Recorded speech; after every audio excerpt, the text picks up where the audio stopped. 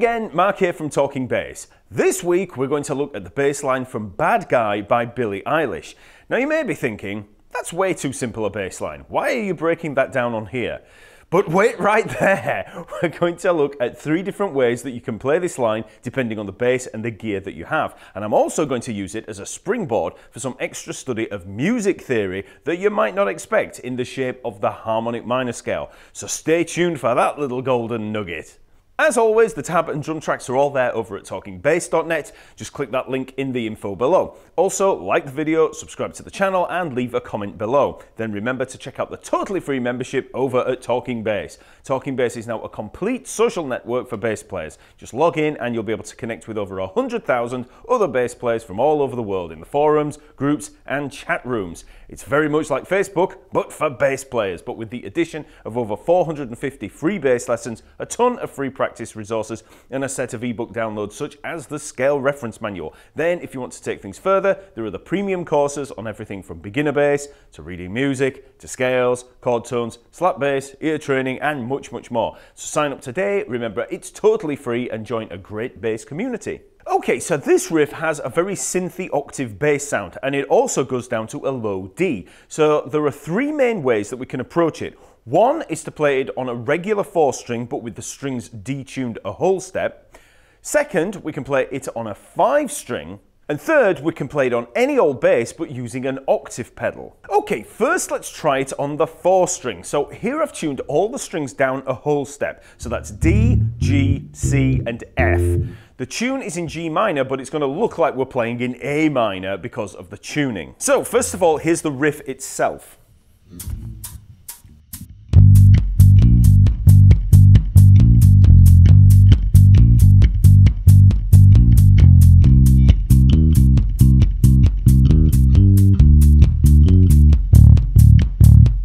Okay, so let's have a look at the notes in there. So first of all, we have this,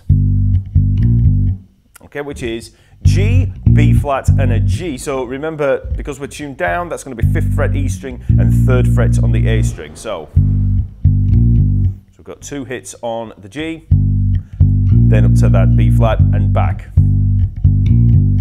Next, we've got three offbeat eighth notes on that G. So again, it's the fifth fret of the E string, and that's going to be starting on the and of four. So we've got four and one and two and, okay? Four and one and two and, and then, then B flat, G, and then down to the F. So that's third fret uh, A string, fifth fret on the E string, and third fret on the E string again. So all of that uh, first two bars,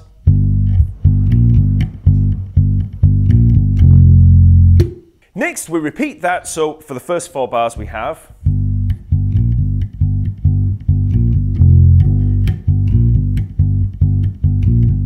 Then we move up onto the A string and pretty much repeat that riff. So we're going to have this. Okay, so you can hear there's a little bit of a change there. So again, now we're going to be on uh, the C. So this is at the fifth fret. So it's just all the same frets there. So we've got C and the E flat. So And instead of moving down to the B flat at the third fret of the uh, A string, instead of that, we move up to the G at the uh, seventh fret of the D string. So,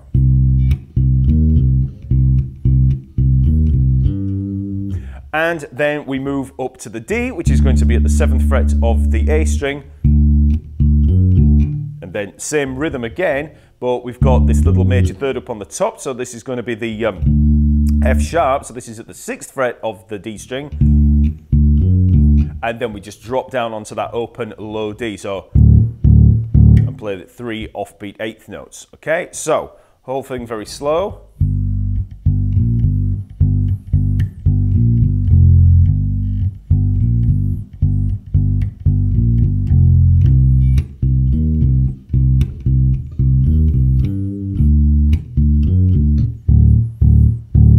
That's the whole thing. Now, from a technical standpoint, there's not that much to say. In the fretting hand, you have the choice of either playing with the pinky or the ring finger for that fifth fret on the E string. Now, most of the time, I would probably opt for the uh, for the pinky there, just because it's a much cleaner technique and you know you've not got fingers flapping around all over the place so you can play it like that i mean you can play with the third finger it's not going to make any difference uh, as long as you can get the get the notes you know then when i move up to the c up there on the a string I might play with the um, pinky for some of them, but most of the time I am going to be hitting with the uh, ring finger, fretting with the ring finger, so that I can catch this uh, this seventh fret on the D string a lot easier with the pinky. So you're going to be stretching up, well, not stretching, but you're going to be making a position shift there. So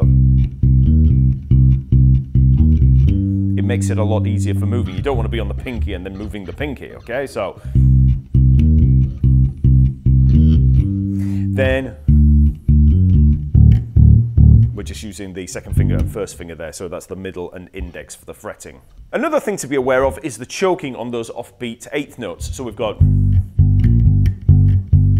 Okay, so on those notes, we're choking them off, we're playing the note, and then we're releasing pressure with the fourth finger.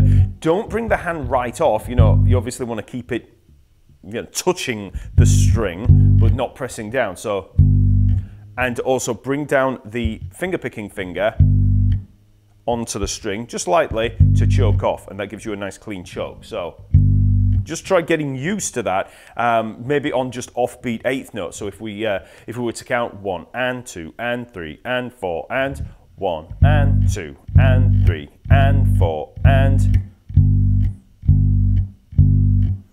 so we've basically got a stabbing motion with this uh, this hand for the uh, for the note and this finger's coming down as we choke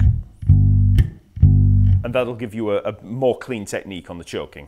Okay, so that's the riff. Like I say, it's not too difficult, although some of you beginners out there might find that it sounds a little bit messy when you first start because of that choking and those offbeat eighth notes. So you want to try it really slowly at first. Really focusing on that technique and all that choking. So start out slow, build up speed, then you can try with the track over at the website.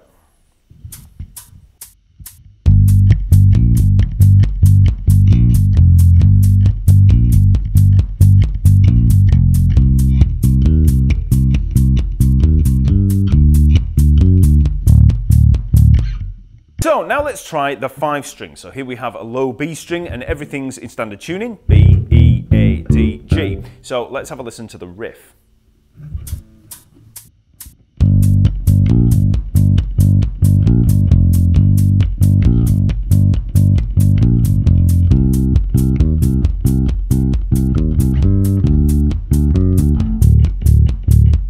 So if you've already learned this on the fourth string, all we have to do is take that same riff and drop it down a whole step back into normal tuning. That means that instead of the fifth fret, we're going to be starting on the third fret. So slowly we have So we've got the G and the B flat, so that's third fret E string and the uh, uh, first fret on the A string. And then down to the F at the first fret of the E string. So all very straightforward. Twice. Up to the uh, C at the third fret of the A string. Make that shift up to the G at the uh, fifth fret of the D string, and then we're up to the D there, fifth fret of the A string, up to the F sharp, the little major third there, back to the D at the fifth fret of the A string, and then we jump down to the low D at the third fret of the B string, and that's it, okay? So it's all written out there so you can work through it. So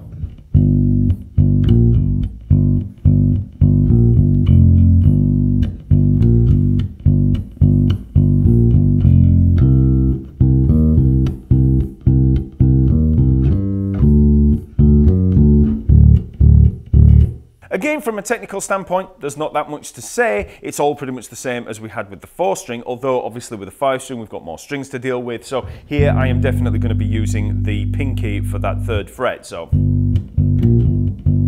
so that first finger there is muting off all of the, uh, the higher strings up there. Uh, also, I'm using the thumb here anchored on the B string at the start. And then shifting up onto the E string to hold that down when I move up onto the A string. Um, so, you know, it's all just taking care of all the residual noise there. Also, when you shift up to this D up here, you know, I'm using the, those two fingers there, but then you've got to jump down and take that low D there at the third fret of the B string with the first finger. So you just have to get used to that shift. It's also worth mentioning that, and you might have noticed this, that I'm pretty much using one finger in the picking hand for the, for the majority of it. So as I play, shifting up onto that B flat, I'm then just raking back down to come back down to the uh, E string. So pretty much all of this can be played with one finger. And obviously when you use one finger, you do get a consistency of tone in there as opposed to uh, playing with alternate fingers. So yes, you need to work on your alternate picking, but actually playing with one finger does have its advantages. Okay, let's have one more listen to that riff with the five string and the backing track.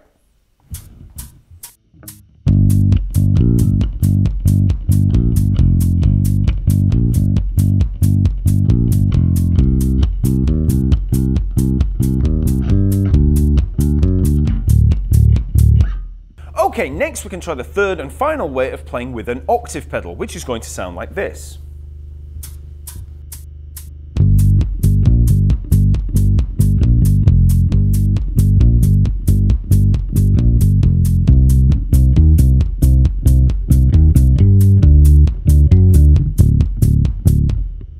Case you don't know anything about them, octave pedals create a pitch an octave lower than the one that we play. So we generally play up in the higher register to get that stereotypical octave effect. Most of the common pedals provide a volume for both the dry original signal and the lower synthesized octave. And that means we can go for this kind of sound with both pitches intact.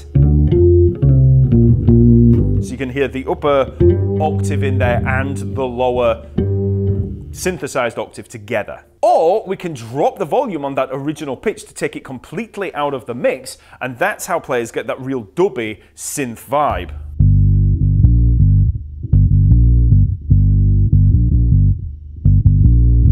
Here I'm using an MXR bass octave deluxe pedal and I'm going to be rolling that dry signal back about halfway to give this kind of sound. So now if we take the line that we learned on the 5 string and we shift the whole pattern up an octave to the G at the 10th fret of the A string, we get the following. Okay, so we're playing at the 10th fret of the A string and we're playing that 8th fret of the D string for the B flat. And here, instead of using the pinky, I'm, you know, I'm using the, uh, the ring finger and the index finger for fretting everything. There's that F the uh, 8th fret of the A string, then up to the C. Catching that high G up there at the 12th fret of the uh, G string, and then then we've got the uh, D major part there. So that's 12th fret of the D string and the 11th fret of the G string. Down to the uh, low D there at the 10th fret of the E string. Okay, so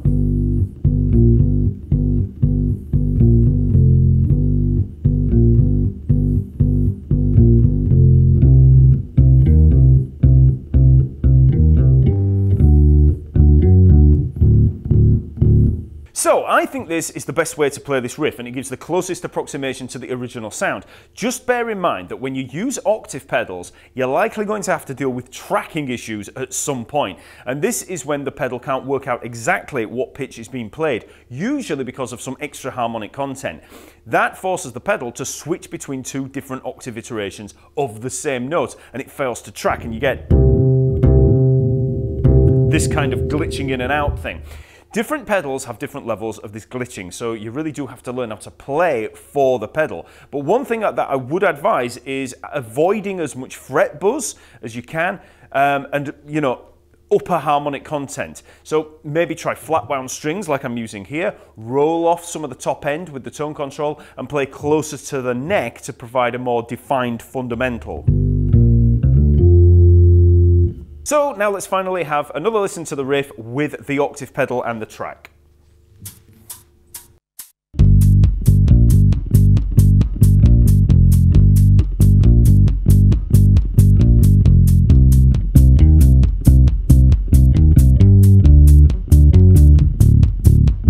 Okay, so that's the riff. Now, what's this music theory stuff that I mentioned at the start of the video?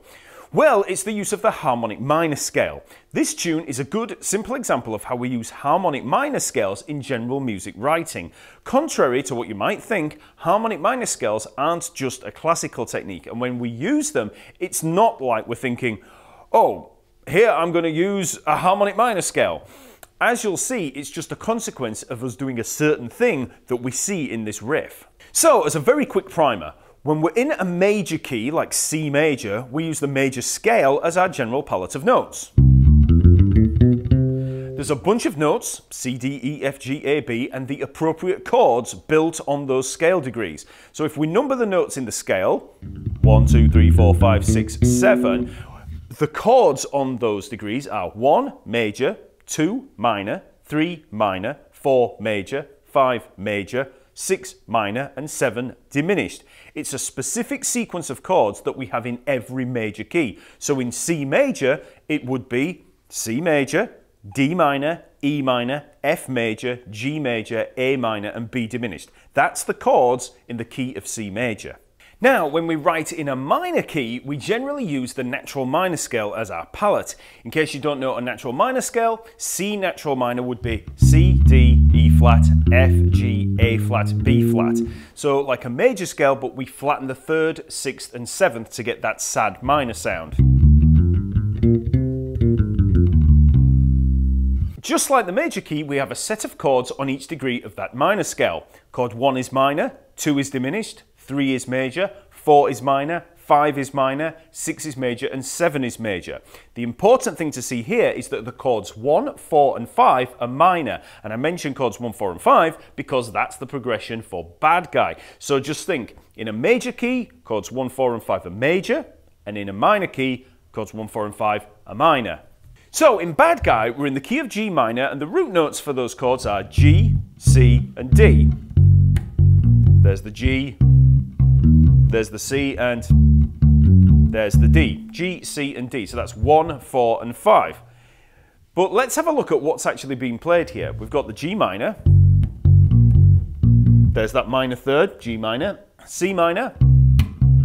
There's the minor third, so it's C minor. But then when we get to D, we've got a major third in there. So that chord is D major. Remember what I said? The chords in the minor key should be G minor, C minor, and D minor, but we don't. We have D major. So that's a little odd, but it does sound right. And that's because this is a very common move in minor keys. We often switch that chord 5 from minor to major, which gives us more of a pullback to the tonic chord 1. So it's the same um, chord progression as then you get in the major key. So it's called a perfect or authentic cadence. Also, if you look at that third in that D major chord, it's an F sharp. Okay, so now think back to uh, the scale that we used in there, the natural minor scale, G,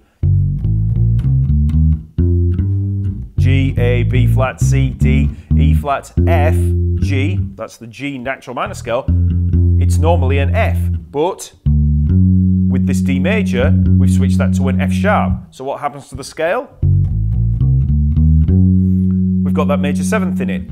That is a harmonic minor scale. So the nugget of theory to take away from this is that the harmonic minor scale is often simply a consequence of switching our chord 5 from minor to major in a minor key. It's a consequence of a change in the harmony, hence the name the harmonic minor scale. We're not whipping out, you know, a bunch of neoclassical shred guitar lines a la Yngwie Malmsteen. It's not even a conscious decision to use a harmonic minor scale at all. It's just as a result of wanting that sound of the major chord 5. And, by the way, if you want another basic example of this harmonic minor use, just check out the riff from Seven Nation Army by the White Stripes, which I've also covered on this channel. Okay, so that's Bad Guy by Billie Eilish. Remember, the lesson material and tracks are all there over at Talking Bass. Just click click the link in the info below. Also, please like, comment, subscribe to the channel, and sign up to the Talking Bass Network and membership to gain access to a massive community of like-minded bass players and a ton of bass practice resources and downloads. Okay? I'll see you next week.